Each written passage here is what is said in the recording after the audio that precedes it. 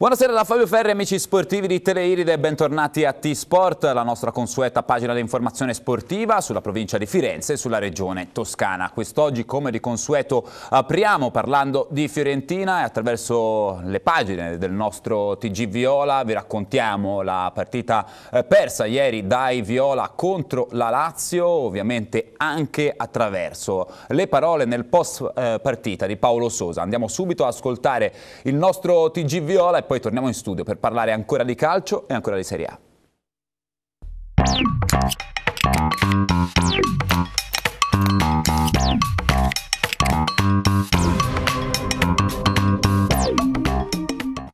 Due sconfitte in quattro giorni per la Fiorentina di mister Paolo Sosa, che anche ieri sera, nella notturna dell'Olimpico contro la Lazio, esce a tasche vuote contro dei biancocelesti ad ora in piena zona Champions.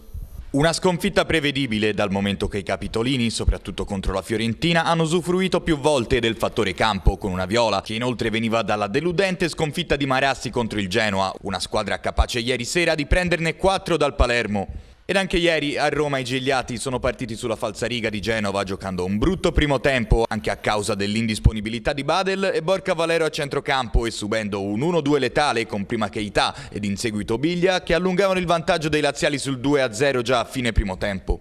In particolare, evitabile il secondo gol con un impreciso Teglio, deludente la sua prova anche ieri sera, che lanciava Milinkovic-Savic ad ottenere il rigore poi realizzato dal capitano dei biancocelesti. Nel secondo parziale poi prova a rimescolare le carte Sosa mandando in campo Cristoforo per Tomovic ed in effetti i risultati si vedono con Ilicic che ha la possibilità di accorciare dal dischetto per i gigliati ma lo sloveno non è deciso e si fa parare allora un altro rigore dopo quello contro il Milan. L'ingresso di Zarate in seguito dà vivacità e brio alla Fiorentina che proprio con l'argentino riesce ad andare in gol al 65esimo. A questo punto sembra potercela fare la Viola ad acciuffare un insperato pareggio anche perché al posto di Teglio entra un Chiesa apparso molto più convincente rispetto allo spagnolo, ma inevitabilmente i gigliati si sbilanciano troppo e dallo scadere allora subiscono il colpo del KO con Radu che concretizza al meglio un contropiede per i padroni di casa. Seconda sconfitta in pochi giorni, quindi per la ciurma del mister Lusitano, che stanzia ad ora in ottava posizione a 26 punti, a meno 7 dalla zona Europa, con un Napoli che nel frattempo arriverà a Firenze giovedì, forte della convincente vittoria contro il Torino. Dimostra, eh, di questo sono molto soddisfatto, perché ogni partita vedo nei miei giocatori una, un coraggio, un'ambizione eh, per oltrepassare tutte le difficoltà. Credo che l'inizio di gioco è stato equilibrato ehm, fino al gol della, della, Lazio, dove avevamo avuto un 2 contro 2 nell'area avversaria. E su una transizione, sia stata una transizione nostra offensiva, un 2 contro 2, non siamo riusciti a concludere, a finalizzare, questo ha permesso al nostro avversario fare sì loro una eh, transizione eh, offensiva e noi nella nostra transizione difensiva non siamo riusciti a bloccare o a controllare ehm, eh, quello che mh, mm, è stato da quel momento una, mh, mm, una, mancanza di controllo e di equilibrio eh, nel gioco. Comunque credo che mm, senza avere un grandissimo dominio o un grandissimo numero di, di, di, opportunità del nostro avversario, finalizzando purtroppo un, con rigore eh, alla fine del, del del secondo, della prima parte. Ehm, comunque la squadra dopo piano piano ha cominciato a crescere, abbiamo avuto subito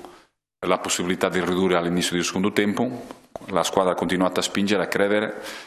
ehm, e questo mi rende soddisfatto. Purtroppo non siamo ottenuti quello che meritavamo nel complesso di tutta la partita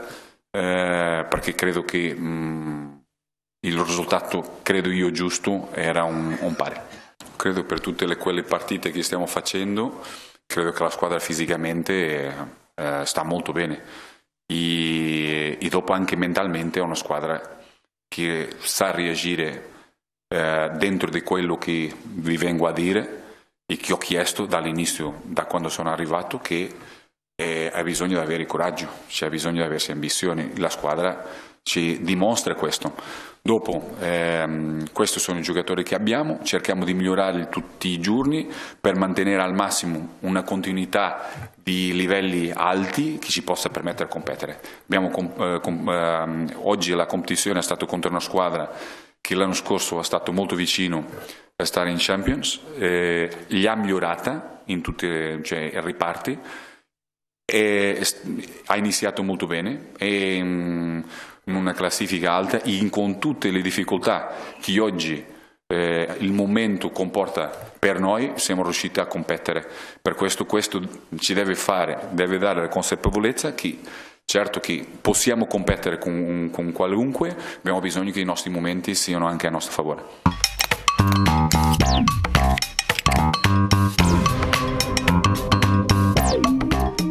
Dopo aver parlato di Fiorentina, come promesso, rimaniamo in ambito calcistico, rimaniamo nel campionato di Serie A e andiamo a parlare dell'Empoli. Empoli che in questo weekend ha raccolto una vittoria e dunque è tornata a muovere la classifica eh, la squadra del mister Martuscello che ha battuto 2-0 il Cagliari grazie a una doppietta di Levan Mecelize.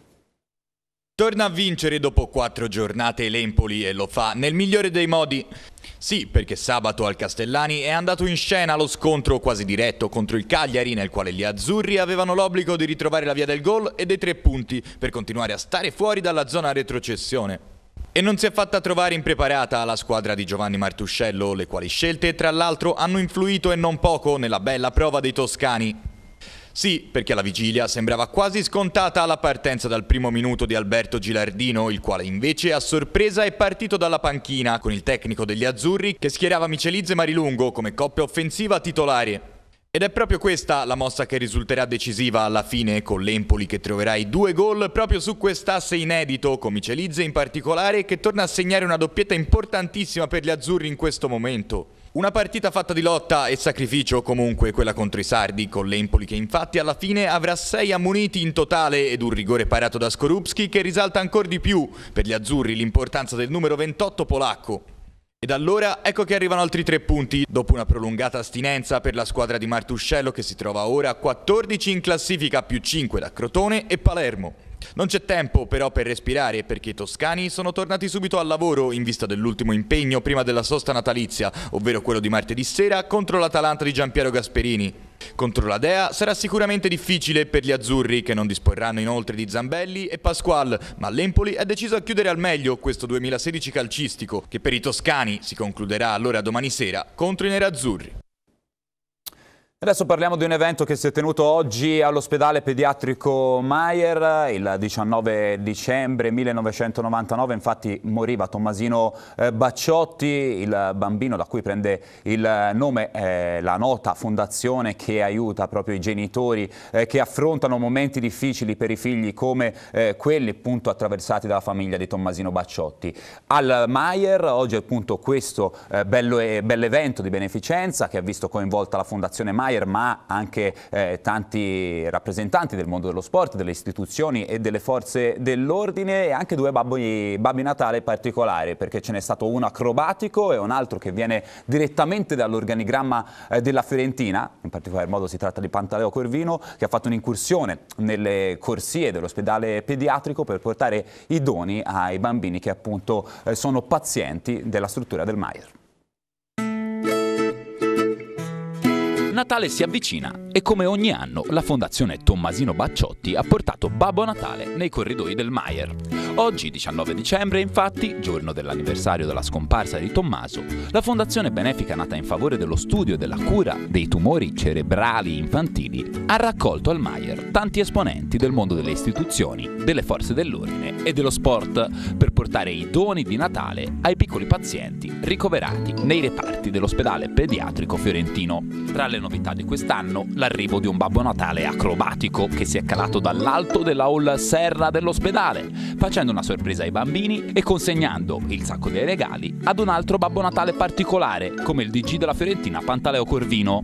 A testimoniare la vicinanza del comune di Firenze al Maier e alla Fondazione Bacciotti era inoltre presente il sindaco Dario Nardella. Certo, io vorrei ringraziare a nome della città di Firenze, Fondazione Bacciotti, la Fondazione Meyer e ovviamente tutte le personalità che anche oggi sono intervenute con grande entusiasmo grande generosità, perché non basta mai ricordare quanto questo ospedale faccia per i bambini di tutta Firenze, direi della Toscana e anche del resto d'Italia. Considerate che un bambino su quattro viene da fuori della Toscana, questo dimostra anche l'eccellenza del nostro ospedale pediatrico e in questo senso la collaborazione che con il Comune abbiamo attivato su tanti livelli per noi è centrale, quindi ringrazio veramente i medici, gli infermieri, eh, la Fondazione Meyer, quest'anno ricordo che la Fondazione ha anche lanciato eh, questo team, questa task force per aiutare i bambini eh, nel, nel, gestione di emergenze, pensiamo alle regioni terremotate e anche i bambini che arrivano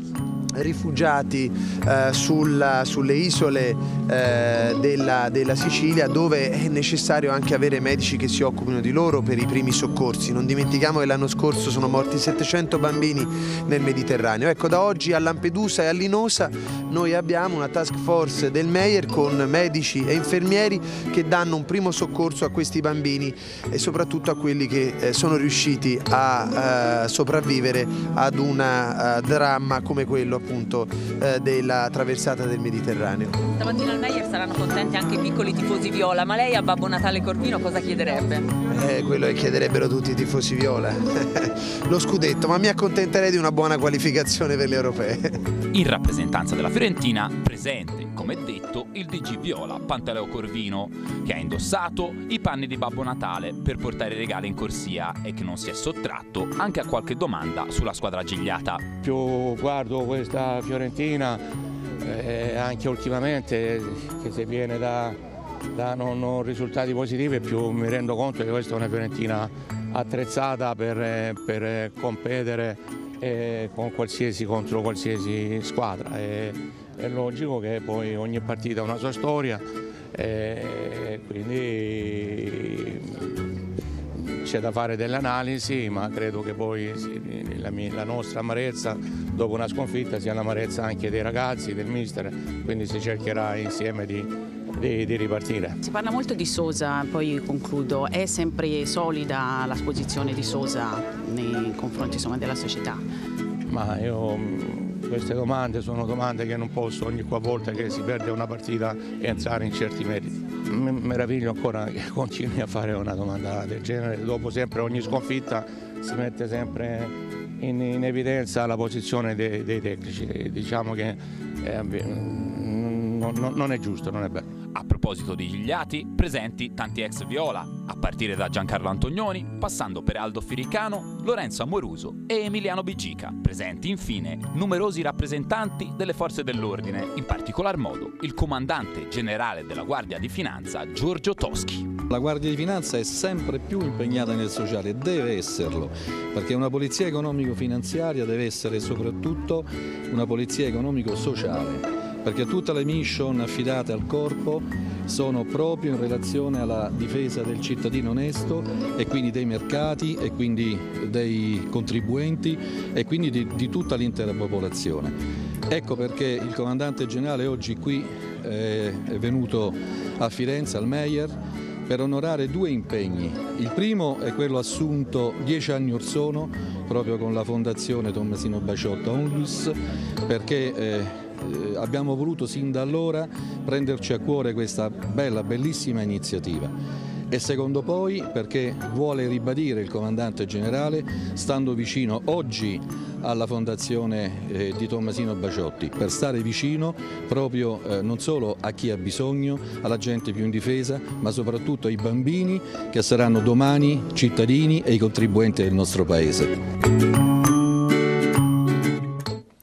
Dopo questa incursione nell'ospedale Maier, nell'evento organizzato dalla Fondazione Bacciotti, andiamo a concludere l'appuntamento di oggi andando a parlare dell'assemblea elettiva del Comitato regionale toscano della Lega Nazionale Dilettanti. Parliamo di calcio dilettanti ovviamente e di una svolta storica per il calcio toscano perché dopo 18 anni non sarà più Fabio Bresci il presidente del CRT a sostituirlo Paolo eh, Mangini che prende il testimone proprio da Bresci Bresci, un Bresci emozionato, quello visto eh, nel corso dell'assemblea elettiva eh, di questo sabato, un Bresci che però sa eh, di aver affidato eh, appunto il comitato regionale a un uomo che ha seguito tutto il suo percorso all'interno del CRT, peraltro Bresci eh, che è stato designato anche come candidato alla vicepresidenza della Lega Nazionale eh, Dilettanti per quanto riguarda ovviamente il territorio toscano. Noi noi andiamo a vedere insieme il servizio e poi eh, ci salutiamo per concludere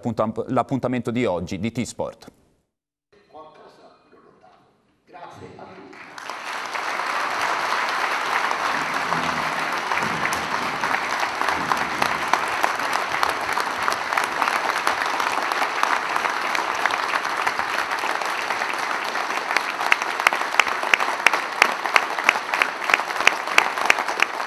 Quello che ci siamo lasciati alle spalle è un weekend già entrato nella storia del calcio della nostra regione. Sabato infatti le società toscane della Lega Nazionale Dilettanti sono state chiamate a eleggere il presidente del Comitato regionale Toscana e i dieci componenti del consiglio direttivo, oltre a designare il candidato alla presidenza della Lega Nazionale Dilettanti e il vicepresidente sulla base territoriale d'appartenenza. Un'assemblea elettiva, quella di sabato, che ha visto Fabio Bresci lasciare il ruolo di presidente del Comitato regionale toscano dopo 18 anni. Ma sicuramente 18 anni sono una parentesi di vita negli anni migliori della vita. Beh, un po' di emozione c'è, però c'è la consapevolezza eh, dietro anche al consenso delle società di aver operato al meglio e di essere stato anche condiviso in quello che, stato, quello che sarà il processo del trapasso e quello che sarà il futuro. Paolo Mangini non si sta qui a presentarlo perché eh, la sua storia all'interno del comitato è nota a tutti, è un personaggio che da coordinatore del settore giovanile ha sempre seguito eh, quelle che sono state le vicende dei dilettanti. Io cosa farò? Eh, io a fine gennaio ci saranno le elezioni eh, della Lega Nazionale Dilettanti, sono stato indicato all'unanimità dai colleghi come vicepresidente de della Lega e proverò questa, questa esperienza. Bresci, che lascia il CRT dunque non senza l'emozione di chi in 18 anni ha dato molto alla Toscana. Bresci che lascia ma che tiene a sottolineare come la sua decisione di non ricandidarsi non sia stata legata ai suoi recenti problemi di salute, tanto che lo stesso Bresci è stato designato dall'Assemblea di sabato come candidato alla carica di vicepresidente della Lega Nazionale Dilettanti sulla base dell'area territoriale di appartenenza. A succedere Bresci al vertice del Comitato regionale toscano sarà adesso Paolo Mangini, già coordinatore regionale del settore giovanile e scolastico ed eletto all'unanimità dalle 513 società presenti all'assemblea di sabato. Si tratta proprio di emozioni perché si accompagnano le due emozioni, quella della, diciamo così, della fine di una, di, una, di una presidenza che è quella di Fabio Bresci dopo 18 anni, una presidenza intensa, piena di tante iniziative ma anche diciamo così, di tanti contatti e si apre un'altra presidenza che spero vada nella stessa maniera, che segua la stessa strada. Questo è il mio augurio e ovviamente in questo mio augurio è anche diciamo, una ricerca di, di aiuto e di collaborazione con tutte le società. Questa è una realtà pesante che ho io come ce l'ha tutto il nuovo Consiglio perché le attività e la gestione del comitato fatta da Fabio Bresci è stata una gestione ottima e quindi noi dobbiamo continuare in questo tipo di gestione e nella continuità del programma diciamo, di politica sportiva che è stato rivolto in questi anni alle società. Questa era l'ultima notizia del T-Sport di oggi, ovviamente domani torneremo a parlare delle tante partite giocate nel weekend, noi vi ricordiamo solamente che per quanto riguarda il girone 1 della Serie A di rugby è arrivata una sconfitta per la Toscana Aeroporti Medicei, battuta 25 a 20 dall'Accademia Nazionale Ivan Francescato, dunque Medicei che rimangono secondi proprio alle spalle dell'Accademia Nazionale, poi vittoria invece per i Cavalieri, sempre all'interno del girone 1, Cavalieri Prato Sesto che infatti hanno battuto 12 a 0 il Genova. Per quanto riguarda invece la Serie A1 di pallavolo femminile ricordiamo le sconfitte di Savino del Bene per 3-0 in casa contro la Pomicca Salmaggiore campione d'Europa e per il Bisonte Firenze che invece è andato KO in casa di Montichiari per 3-1. Vittoria infine per la Fiorentina Basket nel derby fiorentino di Serie B contro l'Enic Pino Dragons, vittoria 86 a 72 che ovviamente vi racconteremo, vi racconteremo domani anche grazie all'ausilio dei nostri servizi. Davvero tutto, io vi ricordo stasera l'appuntamento alle 21.20 con A come Azzurro e quello alle 21.50 con Viola Express. Ovviamente T-Sport invece torna domani a partire dalle 19. Arrivederci.